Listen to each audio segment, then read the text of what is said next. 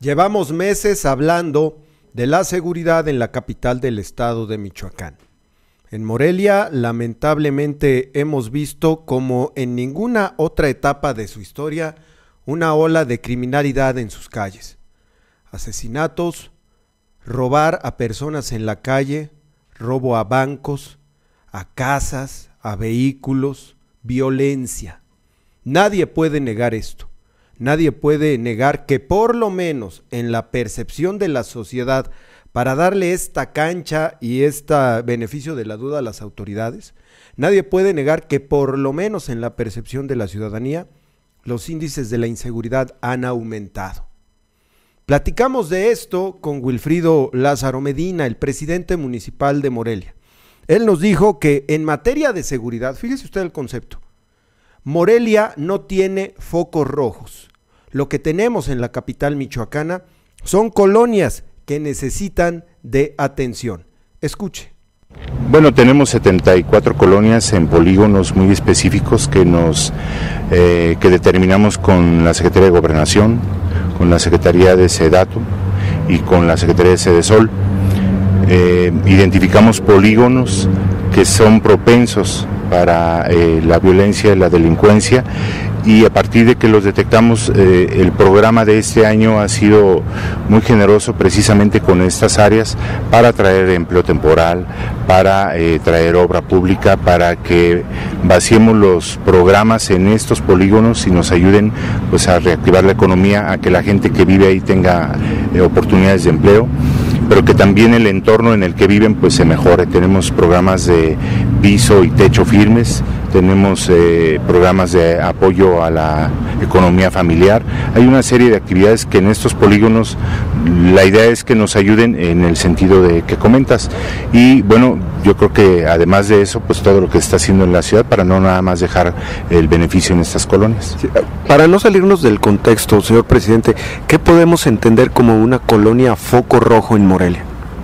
Bueno, no sé, porque yo no tengo colonias foco rojo en Morelia. Yo tengo colonias con las que tenemos una atención prioritaria. Y en esa atención para efecto de que apliquemos programas de prevención de eh, la violencia y la delincuencia. Son colonias en las que se ha detectado que tenemos eh, mayores índices de eh, inseguridad derivados de la falta de algunas oportunidades. Entonces, lo que nosotros podríamos decir es que en muchas colonias de Morelia ocupamos más oportunidades de empleo, eh, incidir mucho en el tema de la educación, incidir en el tema de la recuperación de espacios para el desarrollo social, para la convivencia, para que las familias puedan eh, disfrutar del entorno y que les llevemos capacitación y los programas de capacitación que, tenemos con Cedesol, con Pronapred, que es el programa de prevención social, pues estos van enfocados precisamente a tener a la gente del lado de la capacitación, del entretenimiento, de la recreación sana. Eso es lo que estamos haciendo en estas colonias.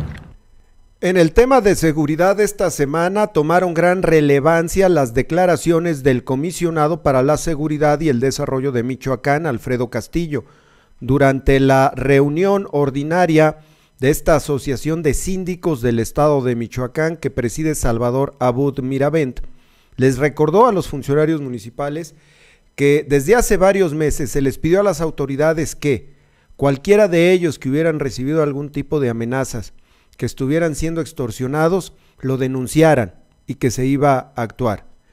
Que ya no se vale esa, ese dicho o, o esa forma de hacer las cosas de, pues si no me cachan yo no digo y si me cachan pues sí hablo fue muy duro en recordarles en el calambre, vamos a decirlo así, el de que dio el comisionado, el comisionado a los síndicos. Al respecto de eso también hablamos con Wilfrido Lázaro Medina. Si ha habido en Morelia, si él ha sido objeto de alguna amenaza por parte del crimen organizado. Él hace una reflexión. No solamente esto le pasa a las autoridades municipales, a cualquier sector de la población le puede ocurrir. Así respondió. Lo que puedo decir es que a lo largo de todo este periodo de gobierno, todas las incidencias y todas las complicaciones que ha tenido el gobierno municipal las ha comentado con el gobernador del estado en turno porque no es nada más una cosa, pues es hablar de toda la situación de inseguridad o de la situación delictiva de la entidad, de ver cómo nos ponemos de acuerdo para que todo camine bien y todo se ha platicado en su momento con el gobernador del estado. Eh, lo que refieres del señor eh, comisionado, también con él él ha tenido reuniones con los presidentes municipales, han ofrecido que tengan todos los presidentes municipales una atención especializada, eh, una atención particular a cada uno de los presidentes municipales, se generó una agenda, el secretario Sorochón también lo ofreció, entonces creo que eso ha sido muy importante para que pues eh, se le den los espacios a, todos los presidentes y yo diría a los empresarios, yo diría a los periodistas, diría a todo el estado de Michoacán y a todo aquel que tenga la necesidad de ser escuchado, pues ojalá tenga ese canal. Hay que, hay que denunciar entonces. Dejarlo, dejarlo en el circunscrito a los presidentes o a los síndicos como el día de ayer, pues creo que mm, creo que sería mucho mejor que sea que esté abierto a toda la ciudadanía para que todo el mundo que tenga necesidad de expresarse sea comerciante, sea transportista, sea quien se haya sentido eh, lastimado o, presionado, pues que tenga también un espacio de comunicación. Yo creo que debe de ser a todos. Hay que denunciar. Es muy importante denunciar eh, y hay que hacerlo siempre de manera permanente. Nosotros lo hemos convocado a la ciudadanía de manera permanente, pues para efecto de que hagamos juntos prevalecer el Estado de Derecho.